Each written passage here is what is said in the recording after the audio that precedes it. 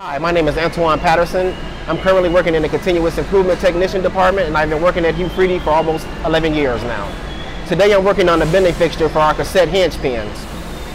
Our current hinge pin was broken, so I'm working on a new one to ensure that the hinge pin is being made to its spec and that the parts are safe so that when the cassette goes into the field that the parts will not open and drop on the floor.